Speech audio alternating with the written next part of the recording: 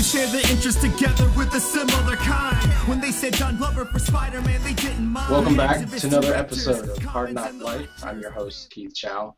Uh, we have a great episode lined up for you tonight. We're talking to a couple of people who are responsible for uh, a movie that's coming out next year, and, and we're looking forward to it. Nerds of Color. We've talked about it a few times. We have two people responsible for the film with us tonight. First up is uh, the composer of the film, Shoji Kameda from uh, Los Angeles. What's going on, Shoji? Great. Happy to be here. Welcome to Hard NOC Life. Yes. Hello, Nerds of Color. uh, and the other person involved with the film is the writer, producer, director, uh, Grand Poobah of Yamasong. It's Mr. Sam Koji Hale, also from Los Angeles. Welcome to Hard NOC Life, Sam. Hello, Keith, and hello, nerds. thank you for coming on. And, and I buried the lead a little bit. The movie is called Yamasong March of the Hollows, uh, but it's also a follow-up to a film called Yamasong that came out many, many years ago. Um, if you don't know, those of you who are watching or listening to this podcast, uh, Sam was responsible for a little, um, I think, like five or eight-minute short film back in 2009, I believe, called Yamasong, yeah. and it basically tells the story. Uh, well, let me. I'll let you talk about it. Uh, where the where the where the sh- the idea for the short film came from, um, and and kind of the origin story of Yamasong. Yeah, so Yamasong is a story about a uh, patchwork girl who's an automata and a tortoise warrior, and the girl basically falls through a pool of, of water, enchanted water, that takes her to this world she's been viewing from uh, from afar for years. But the music for Yamasong started with uh, Shoji and his his group On Ensemble. Uh, they were working on a new album called Ume in the Middle, and uh, Yamasong was the first track on that album.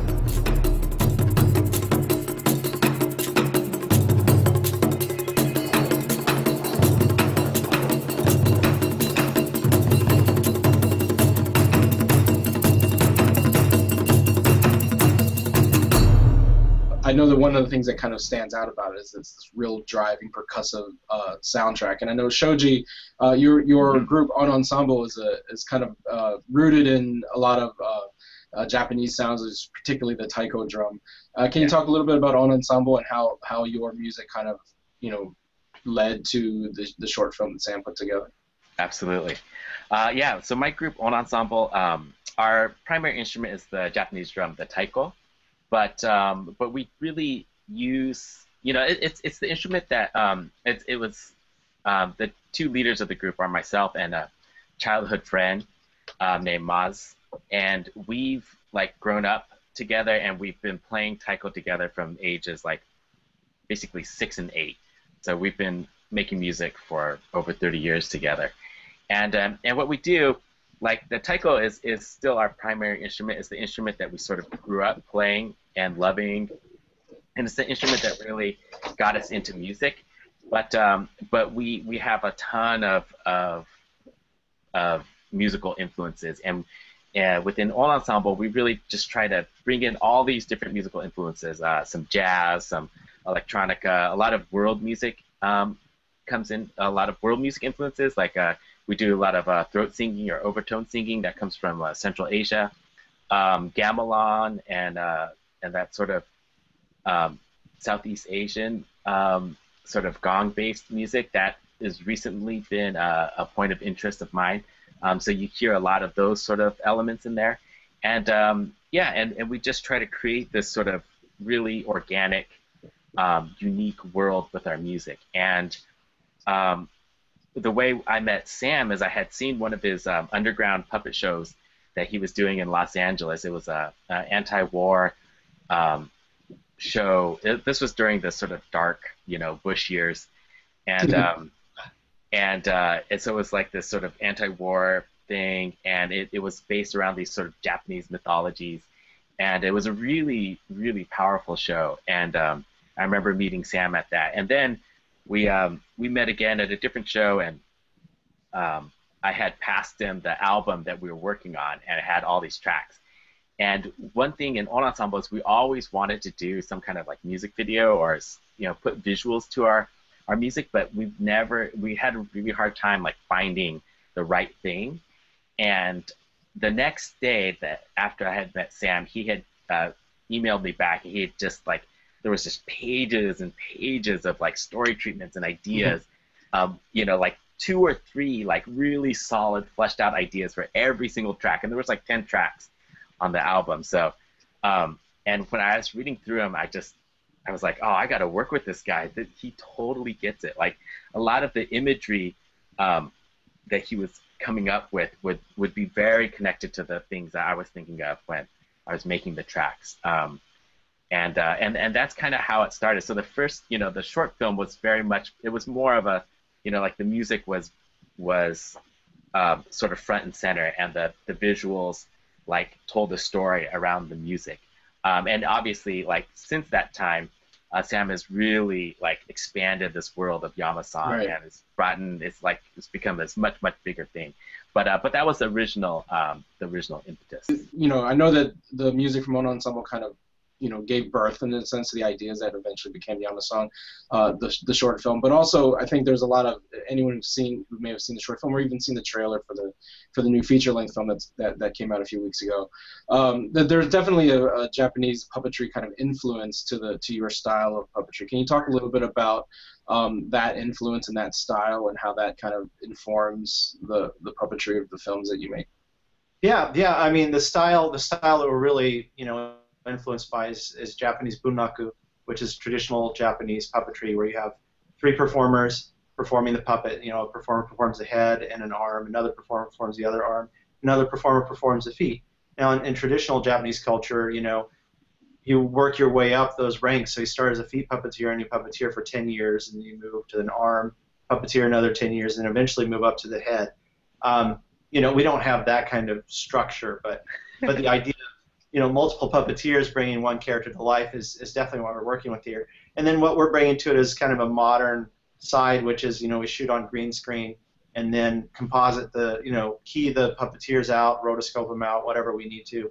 Mostly hide the puppeteers, but sometimes you know we've when we just finished shooting some stuff last week, and you, when you get in a big fight scene, you've got like six people gathered around the puppet, and you're trying to trying to move puppeteer as far away from the puppet as possible, but still get that that direct contact performance. And and so um, it's uh, I'll, I'll show you the behind the scenes. Sometimes you'll, you'll be like, what's going on? Because like three people connected to each moving puppet, and it's it's just kind of a, a interesting thing to see. And then uh, then we bring in some other influences too. You know, I, I like shadow puppets, so um, you know I'll I'll try to bring you know use ways of using shadows. You know, it's not directly the like traditional um, Asian shadow puppetry where it's a, a, hard silhouette, but you know we'll we'll front light stuff and you know create a silhouette for uh, characters in the foreground. Or um, one I, one thing I've done a couple times in the film is where a character enters a room and you see their shadow on the wall and there's a conversation with the shadow on the wall mm. before you you know swing the camera around and actually see the character. So um, there's some shadow puppet influence and uh, and some marionettes too. I mean, there are no pure marionettes, but um, there are times when a rod's too thick in camera, especially if it's a camera side arm and a rod crosses a body, it will string the wrist and, and pull the wrist out with the string instead. So we're kind of kind of mixing it up, but it's really you know the the main inspiration is Japanese puppetry. Well, just just hearing you kind of talk about all the different various forms of puppetry, one of the things that you know stands out in your work is that is you you have a definite passion for that for the art form. So can we talk a little bit about you know were you always the what what kind of uh, got you into the world of, of puppet puppets and, and, and wanting to make films about uh, using puppets as, as your as your main source of uh, of uh, I guess your your main actors. Yeah, yeah. Um, you know, it's funny when I when I lived in Japan, I, I didn't really explore it. I was there for three years, and I remember seeing one or two bunraku shows I even met some performers, but I remember I don't remember really jumping in there going, "Hey, teach me this. I want to know this." I've, I've learned a lot from a lot of puppeteers here, and and uh, what happened was uh, I was in art school and studying to be an illustrator, fine artist, and I was working on my master show. And um, it was a, a, series of illustrations. I just didn't feel like it was comprehensive. That the illustrations didn't tell the whole story that I was trying to tell for that show. So one of my mentors said, "Why don't you do a puppet show?" And um, so I got online and looked around and found the San Francisco Bay Area Puppeteers Guild. Went to their first meet, their, my first meeting with this guild, and uh, Dave Goelz was there. And Dave Goelz is a puppeteer. Puppeteers Gonzo the Great. and he had Gonzo. So Dave was there with Gonzo and did a Q&A with the audience and interacted with people. It was really cool. And I was like, wow, this is this is neat. I'm, I'm going to start, you know, studying puppetry and learning puppetry. So I did a puppet show for my for my master show, and then um, started expanding out from there. Uh, moved to LA thinking I was going to get into more like Muppet style puppetry, and then um, after a few years, dropped out of that and even took a break from puppetry. And then um, when by the time uh, I met Shoji, I was back into puppetry, but doing more traditional forms and doing theater puppetry and, and learning a lot of other styles that weren't Muppet style. Mm. Well, it's interesting you bring up the Muppets because I think, um, you know, for, for people who, have, who may have been reading about Yamasong online, one of the names that's kind of been associated with uh, with the film is, is the Henson name. Can you, can you talk about how, how Heather Henson helped uh, make the short film and eventually the feature film a reality for you? Yeah, yeah. Um, Heather, I've known Heather for a number of years. I met her in San Francisco when I was going to art school, and we just kept in touch. And then when I moved to LA, she was down here going to Cal Arts at the time, and we started, you know, talking and and um, when Shoji and I started talking about doing a doing a, a project with puppets and his music, um, I was like, well, let me let me go to Heather. Maybe you know Heather might be interested in something like this. And so I went to her house. Um, Fraggle Rock was playing on the TV, and I was waiting for her and watching Fraggle Rock and kind of thinking about this kind of neat, you know, this connection to Henson, Fraggle. I remember as a kid, you know, sneaking over to my friend's house because yeah. he had a show and I didn't. Yeah. And you know, watching Fraggle Rock on his TV. So this is a moment, you know, one of those moments where like, oh, there's this kind of overlap going on. And then uh, she came in and we started talking, and I pitched it to her, and she didn't hesitate. She's like, that's cool. You know, I played the music for her, and I said we wanted to uh, a puppet story around this. She's like, that's cool, let's do it. And so she funded the short film. And then after that, I became a, a, a part-time producer for her. I still am for her Handmade Puppet Dreams project, which is funding a, a couple artists a year to make puppet short films and then um, and then you know we got into you know last year when um, I was I met uh, this this man named Sultan Darmaki who's from the United Arab Emirates. He was one of my Kickstarter backers for my last short film, and um, we were talking and um, you know he asked me if I had any feature projects, and I showed him the short film for Yamasong on my iPad, and he watched and he's like, "This is beautiful. Let's make a feature." So you know, we went there, and and then Heather's connection to this is that you know she's she's showing her continuing support by um, being the executive producer on this project.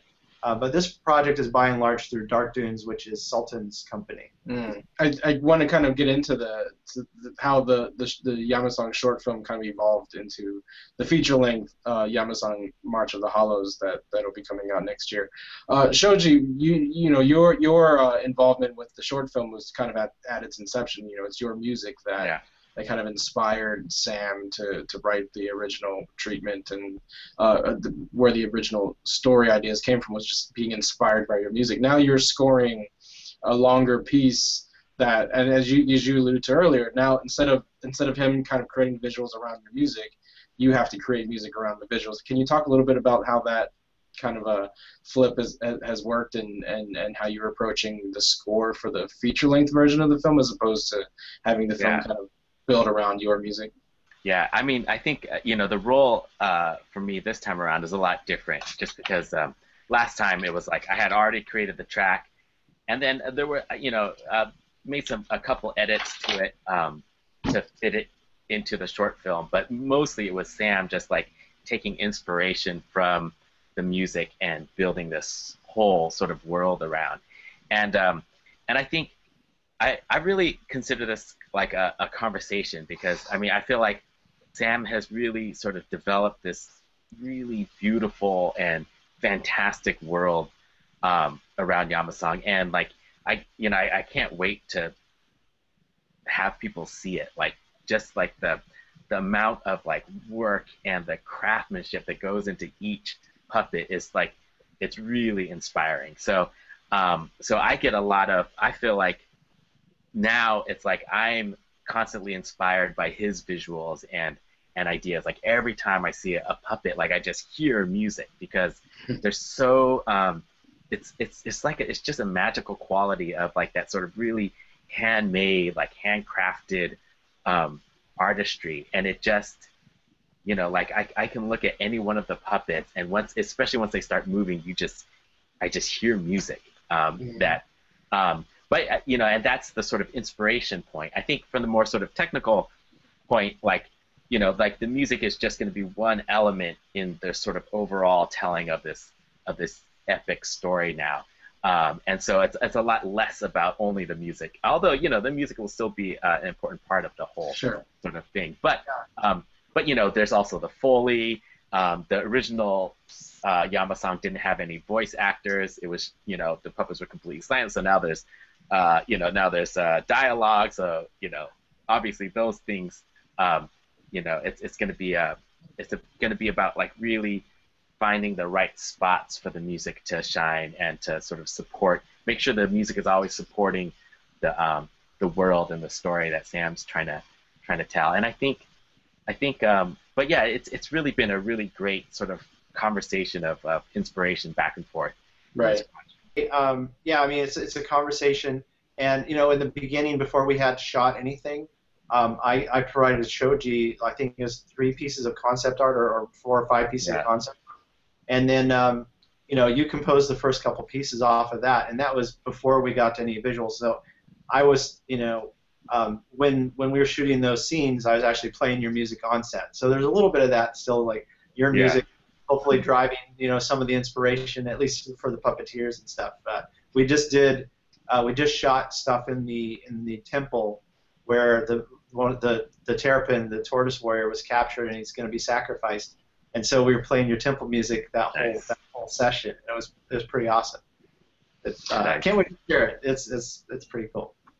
Well, I, I, I want to I want to dive into that a little bit. You know, um, you know, Shoji talked about how the the, the original short film was was essentially a, a I wouldn't say a silent film because the, the music is definitely the front and center there, but uh, it, there it, there's been an evolution in terms of just scope and scale. I mean, going from an eight minute uh, short to like a, a feature like 90 to 90 minutes to two hour movie uh, is, Yeah, a, is a big Yeah. yeah, it's a big leap. Uh, so can you talk a little about how you know how you approach just kind of building out the world, building out the the story, and and and just for for folks who are listening or folks who are watching, uh, you're not you're not retelling the story from the short film. This is a, this is a follow up to the short film, right? Right. And and it's it's written in a way that you know through flashbacks, you know, someone who hasn't seen the short film will understand kind of the backstory. I mean, the eight minutes is really uh, could almost be the intro. You know, um, we set up the situation. There's an arc, and at the end of the arc, the two characters are separated from each other, and and the the tortoise warrior is back in his home world, and the the uh, patchwork girl is back in the prison moon that circles the planet. So when the story opens, she's we open with the prison moon. You see her looking through the bars, longing to go back to the world that she only got a, a sense of for that brief little visit. And she wonders about what happened to that tortoise warrior who showed me around. And then you go to the planet and you find that he's in the mountains and he's lost and he's trying to get back down to the ocean where his where his boat village is. And then he's attacked by the rivals who are these ram people. So anyway, to get back to your question uh, about building the world, um, yeah, going from eight to ninety minutes, I you know I knew that there had to be well just more content, but then the question was like, what is that? What's the content going to be? What's the story going to be? And I tried to tried to keep it centered around the two characters and that they were separated and the one character in the moon wants to get back no matter what. She wants to go back to that beautiful world that she discovered. So that's her motivation in the first act of the story is to get back to the world. And the way she does it is pretty spectacular. Um, and then there's the, the tortoise warrior, and kind of his story becomes um, the the ripple effects of having met this stranger from this uh, from the moon, you know, and and uh, he comes from this kind of traditional uh, kind of mixed Asian culture. It's part Japanese, part Southeast Asian, you know, and uh, but I, I, I kind of when I was writing his his people in the culture, I was thinking of um, you know Meiji or post or pre-Meiji era Japan before Japan was opened up to the West, and so there was like you know the the rules or the laws where you didn't have contact with foreigners because the country was isolationist and it didn't want Western influence you know corrupting or tainting the traditional culture. So when he comes back to his village, there's they see him and they know that he's changed because when he meets the girl, uh, they they go through a transformation and he gets her eyes and she gets his. So when they see him, he's got this patchwork person's eyes, and they know he's broken the law. So he's kicked out of his clan and, and exiled. And so his story is about trying to trying to discover himself without a connection to his original clan, or asking himself, do I do I go off and start a new life, or do I try to find my way back into my clan? So um, building around those two characters, and then saying, okay, what other races are on this world? What are the other big stories? And kind of starting with big picture stuff, and then um, and then enhancing that with what each of the, the races in the world how they they deal with the question. And the big question for March of the Hollows is uh, the Hollows, who are the Patchwork Girls people, they're they're mechanical people that have been imprisoned in the moon. Um, they want to come back to the planet and take over the planet again because they believe that their gift that they impart is to turn turn the organic creatures into mechanical creatures. And they think they're doing it as a, as a favor, helping the, the poor backwards creatures of the world by turning them into machines and you know in the process making them slaves to the hollows. So uh, that you know once once I got started into that big picture stuff, then I started thinking, oh, this could this could be 90 minutes. And you brought in a yeah, screenwriter as well to, to help help. Can you talk a little bit about her involvement in the? In the... Yeah, Ekaterina Sedia. Yeah, Ekaterina Sedia is a novelist. Um, she's probably most well known for her novel, The Alchemy of Stone, which is a book that I read and um, kind of you know filed away. I read it as uh, Yamasong was playing the film festival circuit in 2010, and it has a story about a, a, mechanical girl in this this this kind of epic world that is a there's a struggle between alchemists and engineers. So you've got alchemy and and, and science kind of at odds in this world where the, the person caught in the middle is the mechanical girl. And so after I read her book, I was like, you know, I'd like to reach out to her at some point if I ever get a chance to do a, a longer form Yamasong because I felt there was some creative overlap in, in what she was writing and, and what Yamasong was about. And um, so then when when I had the chance to work on the film, I, I basically cold called her. I found her email address and sent her a message and sent her a link to the trailer. And she was like, "Oh, this is beautiful. Uh, let me know if, if you need a you know a, a screenwriter." And so you know when I when I got the made the deal with Sultan, uh, then I reached out to Ekaterina and we started plotting out the, the big story. Shoji, uh, going back to your process as far as scoring the film, um, how much how much of how much of the uh, the visuals uh, informs your music, and how much of it is the, the script and the story? I'm assuming that Sam shared the script with you when yeah yeah I would say um, I don't know that, that that's a good question. I I think um, I think just because there's already this sort of shared vocabulary between uh, between Sam and myself. I, I feel like we, you know, I like one of the things that really drew me to working with Sam is like when I heard his ideas and I saw his story treatments, I really felt like he was describing the same world that I was describing. Because mm-hmm. I was trying to do it through music, and he could do it through you know through puppets and through visuals. So I feel like there's already like without us even like having to say so, there's already like a, a mutual understanding of like what that kind of world is. Um, and as Sam has expanded it, um, I've taken similar steps to sort of expand the sort of uh, sonic palette of of um, of the of the music of that world. Be- just because it's it's a lot richer now. There's more sort of nuances. Um, it's a much bigger world with more characters and, and different races and motivations and um, and a much sort of uh, more epic storyline. So I think that all is, you know, coming in and, and influencing the music. But I think it's, you know, I, I really feel like it it's coming from this place of, you know, of, of like when I'm making music, I, I think a lot of place and like, you know, texture and, and, and I try to be kind of specific about the mood or the, the place that I'm making the music about. And I feel like, um, you know, I feel like yeah, I just feel like you know Sam and I were were both describing that same world, right. and um, and so it's it's a very natural process in terms of um, thinking of other sounds that will work well within this world because I, I you know I feel like we have this idea of like of, of what it is already. Um, yeah. And and how much of it is being built off of kind of like that original that original CD that that that ended up becoming the first Yamasong, and how much of it is is like, are there callbacks to that original soundtrack, or are there? Um, I think there will be some. Uh, There should be. yeah, there'll definitely be some uh, some like references. A lot of, I mean, a lot of the similar sort of things I'll be using, like a lot of throat singing, a lot of the taiko, that sort of uh, mix of electronic plus, um, uh, you know, live instrumentation is something I'm like always like working with. Um, so there'll be a lot of those things, and then even some of the sort of uh, structures of the original piece, I think, will be will be in there. But um, but it's all going to be kind of reworked and reimagined into Right. this new, yeah, new Yama song. And Sam, that's kind of the approach you're taking with this feature, right? Like, the, like uh, Shoji, I like what he said about kind of like rethinking, reimagining that original world and kind of like building upon it. One of the ways that you guys have, have been able to do that is um, by having voice actors cast as uh, as these characters, as, as was alluded to earlier. The original had no dialogue, and now you have a full a full cast, and it's not only a cast; it's a pretty spectacular cast of people. I know that um, Lucky. uh, yeah, you, the the press that, that your film has gotten so far has, has kind of led with that. We haven't. We waited about 25 minutes before we even brought up the cast, but it's it's it's pretty it's a pretty impressive cast. So just just for for folks who may not Nerd be aware, hero. it's it's it's very nerd friendly. It's very sci-fi friendly. So so for example, the the cast consists of Nathan Fillion, uh, Whoopi Goldberg, George Takei, Peter Weller, Ed Asner, Freida uh, um, uh, Pinto. Um, who am I leaving out? I mean, that's that Um, Abigail Breslin. Abigail Breslin. Yeah. Um, let me see. You get everybody. Malcolm McDowell. Malcolm, Malcolm McDowell. Yeah, how can you forget Malcolm McDowell? How can you forget?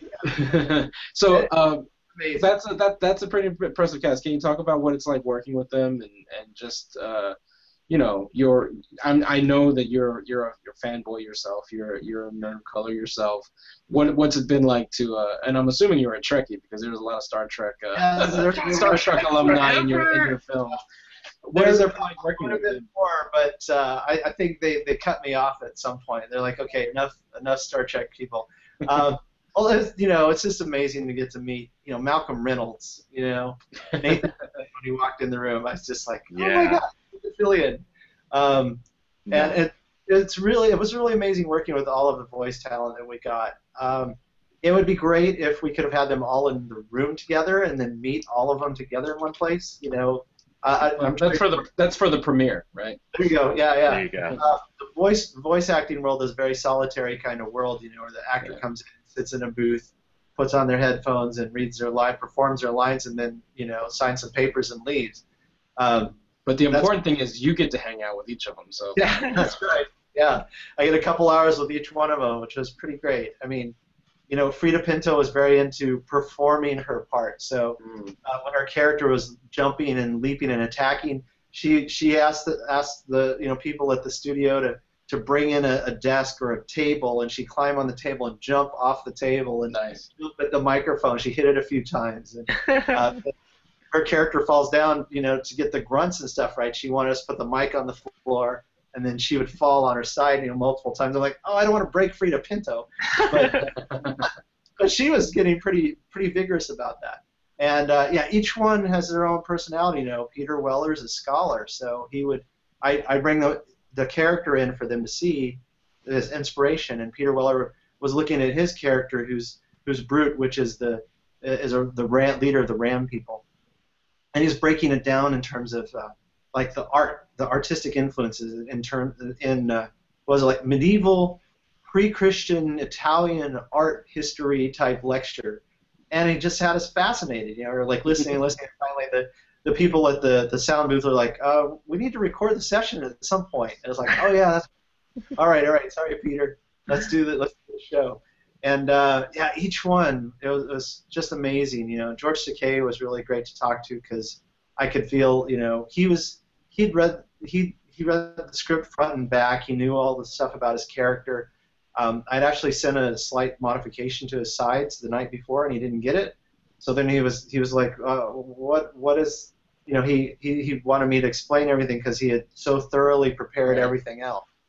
And then um, and then talking afterwards, you know, he he saw you know my name Sam Koji Hale, and he was asking me if you know I was Japanese American, and so he was very curious about my background and and then helping out, you know, helping out a, a you know up and coming, you know, Asian American filmmaker. So it was really great to feel like you know Uncle George was in my corner. Well, I, I mean, I, again, I think a lot of folks are really excited for for uh, Yamasong when it comes out, um, and just everything you've been explaining as far as the the, the, the storylines and, and, and the casting um, has, has been fantastic. One of the things that I think uh, that Yamasong kind of brings with it as well is just the idea of bringing back the, this kind of genre, the the uh, the puppet fantasy film. And I think there haven't been there hasn't been one in a really really long time. And the, you know the last I mean the last movie I can even think of with with puppets in it was was probably already like 10 years ago, and that's I think uh, um, Team Team America is probably the last big film with, with that was that was fully puppet. Uh, can you talk a little bit about just the uh, the the notion of, of what makes what makes puppet films um, you know what what what makes them good? Well, why why why should we bring back that that format of filmmaking? Yeah, you know, I think more than anything, it's I don't think that it's it's a, a style of filmmaking that, that, went out of style. I think it's just that CGI has become such a, a central part of you know the the filmmaking and storytelling process that um, I think there's a it's it's really part of the culture of storytelling and filmmaking now. Is you know when you make a film, if it's a big you know a big budget film, it's going to have a lot of CGI in it, and there's the pipeline is there for it. You know, mm. where making a film with all puppets and the post process that that's a pipeline that we're building right now. You know, um, we're bringing CGI into it too because I feel like puppets can live in a you know CGI enhanced world just like any other you know CGI enhanced world. You know, whether it's live action or animation.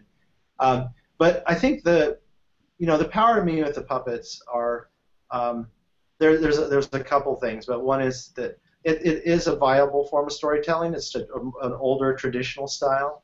Um, so the the challenge I think is being able to show that the puppets can convey emotion, that can convey you know ideas, and that they're they're not just um, you know clunky, ugly things. You know, um, I think we live in a live in a culture where uh, you know when people see one bad puppet show, they think that's what puppets are and I'm trying to show that you can create these incredible, beautiful puppets in an, amazing world with a story and, and, and the, the full kind of breadth and depth that you could with live action actors or animation. Um, but yeah, it hasn't been done in a while, so I think that's part of the challenge, and also part of the, and and, and part of the um, challenge, both good and bad, I guess. You know, it's it's the challenge is to show people, hey, we can do this, and uh, we can make something amazing, and and then hopefully that leads to you know creating greater and greater interest for these kinds of stories. Because you know as a kid I I love Dark Crystal I love Labyrinth I love the storyteller. You know Jim Henson was doing amazing stuff I think at the end of his career. And and um, I think that you know if he if he lived longer he probably would have been doing even more of this kind of stuff. And and now there's a you know more there are generations who grew up with that stuff that are I think familiar with the visual language and familiar with it and, and hopefully excited about it. Right.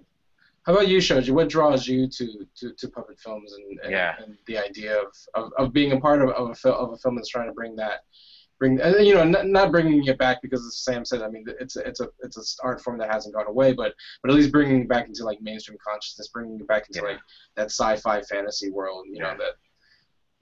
Definitely, I mean, I can speak much more just from a sort of fan perspective. Right. You know, like I'm not of that sort of uh, that world, like like as as deeply as Sam is, but I definitely like as a fan of this kind of stuff, like I feel like there's there's a like puppets have a real like magical quality, and it's that that same like you know when you see when you see something that has been like so carefully handcrafted and you see the work of the hand you know in like a real way um, there's just like and you know and then it moves like that's like it's so magical, you know? Like like there's a reason why like you can go to almost every culture in the world and there's some tradition of puppetry, you know?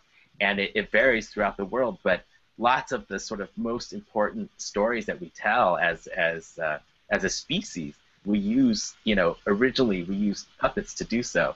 And um, like for me, it's the same thing as like, you know, when I when I see like a, a model ship, you know, like like or when I see a you know a, like a model spaceship instead of a CGI spaceship. Like right. like you know, like you you can tell immediately that oh somebody made that, like some hand made that, and and it's like and you could even though it's like shot to look like this massive spaceship Sure. you know, over a, a planet, you know that it's like this small, you know, you know it's small and it has that sort of quality to it. And I feel like, uh, especially Sam's puppets, they have that same like they create that same sort of magical feeling for me when I see them.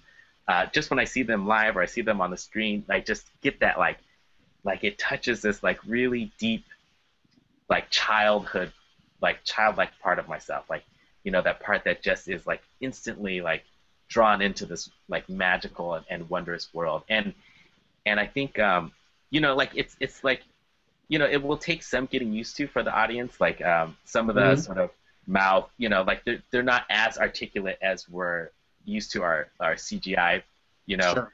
puppets being but um but i think that's like that's also another sort of great It's kind of the it's about kind of the appeal. It's the appeal, right? Yeah, It's, it's why, exactly why it, it, it, it like it it leaves a little bit like there's so much of, of the filmmaking that especially in the sort of fantasy and sci-fi world right now it's like you get to see everything you know like and, Yeah. and like there's no space for your own imagination and your own sort of interpretation and i Mhm. feel like art forms like puppetry um, they leave more of that you know more of that space for for you as a viewer to like to, to sort of fill in you know and Yeah. um, yeah and I, I think like I, I really felt that strongly when I saw Sam's um, the underground show that that when I first went to see it like it was this um, really epic story about a father and son. It was an anti-war thing and um, like people like they you know they draft him into war and like he uh, he the like he the father um, the sort of like fox trickster character comes along and like helps the family out. And like this this whole like thing. And it went on and it was like a good you know i can't remember how long but i was totally lost. And Mhm. then i left the show and it wasn't until like another hour that i realized that not a single word of dialogue was said in that entire Okay. show. It was just like puppets movement and music. And like like because the story was so clear and i heard the puppets voices like very clearly in my head. But uh and it, that was like a really yeah it's one of those like very profound artistic moments i've had in my life. I just thought like wow that was really magical. Like i totally understood that story and i it, I it made so- you want it, made you want Yeah. to work with the guy, right? yeah, no, exactly. And I feel like, um, you know, in this way, you know, they're, this puppets are going to have these really great voices and stuff, but those, it's still going to have that sort of, that core uh, quality that I think puppetry has the power to do, which is like this sort of, you know, really magical, uh, childlike wonder in, in within the art form. I think the comparison between like CG and, and puppetry is really interesting because you know I mean for all intents and purposes, you know puppet puppetry is a kind of animation even though it's not like hand drawn or computer generated. You are essentially bringing inanimate objects to life. Um, you know if you had to kind of pigeonhole yourself, Sam, into one area or another, is puppetry live action or is it animation? Uh, you know, it's, that's a good question, and I would say I, I consider it. I, I would say I consider it more animation only because um, you are bringing something to life that isn't live. Uh, when I was when I've when I sent Yamasong to film festivals, I applied to animation categories. Mm-hmm. So it's competing against animated pieces versus competing against live action. And that's because of a recommendation that Lisa Henson gave me. Heather shared the, the trailer with with her family, and then Lisa, the co-president of Henson Company, contacted me out of the blue, and we had a meeting, and we were talking about film festivals, and she recommended that.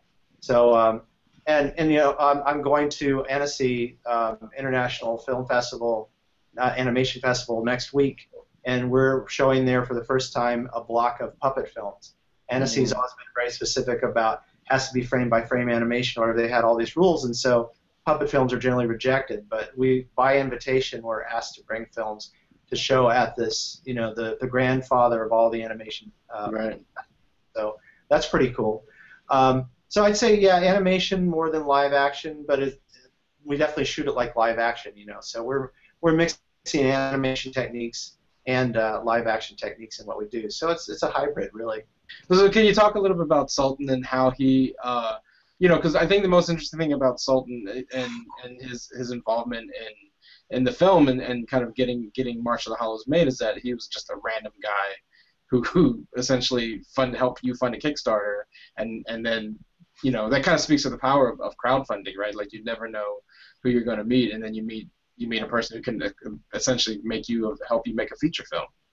Yeah, it was you know when I talked to him about it, he he was getting into Kickstarter at the time, and his morning routine was sit down, have a cup of coffee, hop on his laptop, and look at what the interesting Kickstarters are for the day, and and put some money into each one that caught his interest.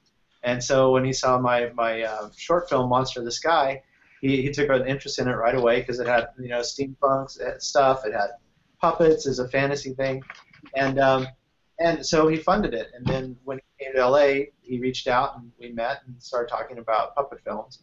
Ends up he's he's a huge fan of practical effects. He you know he he loves monsters, he loves creatures, he loves puppets, all that stuff that's like uh, you know 80s, early 90s. You know Jim Henson, uh, Stan Winston, Rick Baker. You know all those guys. You know Amalgamated Dynamics. Those all those people who are making uh, what you what you might call the golden age of the practical effects era, you know, making creatures that are cable controlled or or animatronics, all that kind of stuff. He's a huge fan of. So, you know, he saw my stuff and then he started seeing some of my friends' projects and and then uh, you know he's you know really connected with with the um, practical effects community in LA and and um, I'm I'm just lucky that I'm one of the probably one of the first people or one of the early people that he started uh, funding in Kickstarter. And now he's created his own production company and he's doing bigger projects beyond short films on Kickstarter. You're still you guys are still in the middle of, of uh, shooting um, March of the Hollows. When when do you conceive uh, wrapping uh, production and uh, heading yep. into uh, post production? And when when will the film uh, see the light of day as far as wide release? Uh, so right now, yeah, we're we're in the middle of shooting. Um, the, we shoot a week on and then a few weeks off. That gives us time to repair puppets and build, you know, build new puppets or set pieces or whatever. Um, but the plan is to be finished with shooting by the end of August, and then be fully into post in September on. Um, we're already in post. We have a small post production team working on shots even right now, and um, you know I'm, uh, you know, we're trying to keep kind of every stage of, of production moving as much as we can. And um, you know, the, I think the challenge of post will be you know the green screen and cleaning up the green screen, getting rid of the rods, and then uh, bringing bringing in the beautiful beautiful environments around the characters. And uh, as far as when it's going to be released, I, I think it's going to be sometime in 2016. We don't have an exact date yet. We're uh, my producers are talking to distributors, so it'll all depend on what kind of deal they get with the distributor. So um, stay tuned. I'm sure there'll be a, a, big announcement when we when we have that to announce. I, I for one, am am really looking forward to seeing the film. Hopefully, um, sooner than later. Uh, just follow, oh, yeah, yeah. just following the evolution of Yamasong uh, over the last, I guess, five or six years, just from from you know, being this short film, this passion project, and then eventually becoming this this pretty big deal has been really exciting. Uh, good luck to you guys. Um, Shoji, can you can you give us a quick update on on Ensemble and what, how folks can find you guys online? Yeah, we uh, can find us online at onensemble.org, which is just O N and then the word ensemble E N S E M B L E dot org. Um, we have uh, three albums. Uh, we have some live music. Um, I am sitting on a whole stack of videos that I need to upload, which is supposed to have been done like two months ago, but mm-hmm. they're still on my hard drive. But but yeah, um, and uh, yeah, well, hopefully we'll be on tour in a city near you. We're gonna be going out to the Midwest in the fall, Chicago. Uh, we'll be out through the Denver area, um, and Minneapolis. So anyway, onensemble.org. So we'll find you guys online. And then Sam, any anything else you'd like to plug, but, before? Uh, Oh yeah, yeah. Um, like our Facebook page. That's where you can. Pro- that's probably the best place to go to find out information about Yamasong, especially updates. Also behind the scenes photos, video. Um, we're, we're, we're regularly posting stuff up there about the progress on Yamasong. So uh, just look up. I think Yamasong movie uh, on Facebook. It's it's public, so you don't have to you know right. you know it or like it or whatever. But yeah, like it when you go there. and then and then uh, Dark Dunes Films. You can follow them on Twitter at Dark Dunes Films. Uh, I want to give a big thanks to my guests this evening, Sam Koji Hale and uh, Shoji Kameda, for, for joining us and talking about Yamasong. Uh, hopefully, you guys uh, at home will be able to catch it soon, and uh, I will see you next time.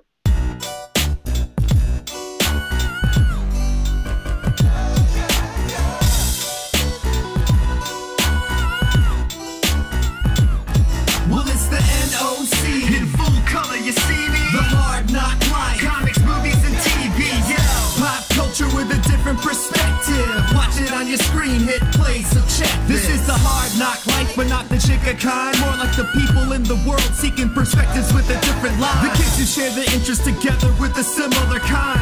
When they said John Glover for Spider-Man, they didn't mind. The activists, directors, comments, and the lectures. Fanboys, professional artists, and professors. Maybe a nerd who's just like you, talking about the things that you like too. So I invite you to the NO.